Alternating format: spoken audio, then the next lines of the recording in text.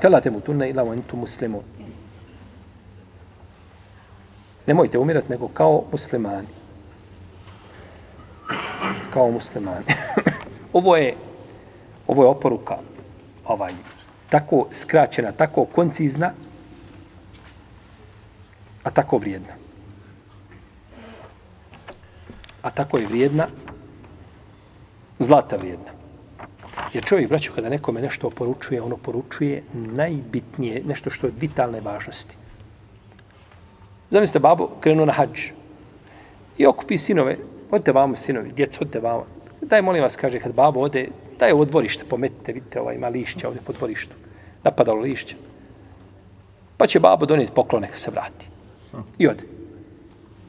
I krene i priča ljudima u avionu, u autobusu, kaže, ja sam svojoj djeci oporuku ostavio kad sam krenuo. Nije to oporuka živio. Oporuka se tiče nečega što je bitno i od čega ovisi je njegov dunjaluk i njegov ahiret. A uglavnom se oporuka daje za ahiret. Pa pogledajte njega, nemojte umirati nego kao muslimani.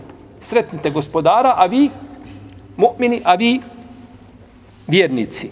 Znači, imajte lijepo mišljenje o svome gospodaru, a za ođel, i nemojte ga promijeniti i nemojte napustiti ovaj dunjaluk, osim da ste na dini islamu.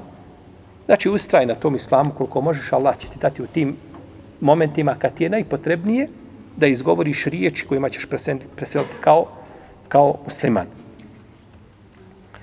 A, jer čovjek najčešće umire na onome na čemu je živio. To je uglavnom nepisano pravilo, može biti izuzetaka. Međutim, na čemu je živio, na tome na tome i umire. I na tome će biti proživljen definitivno. Na onome čemu je umro, na tome će biti proživljen. I zato su ti zadnji momenti pri čovjeku naj, najbitniji.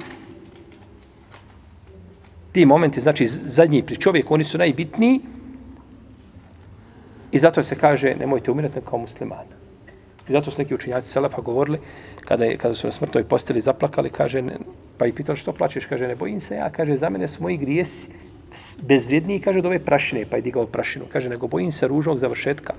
Otiću ja sa Dunjaluka i izgovorit ću riječi koje srde moga gospodara.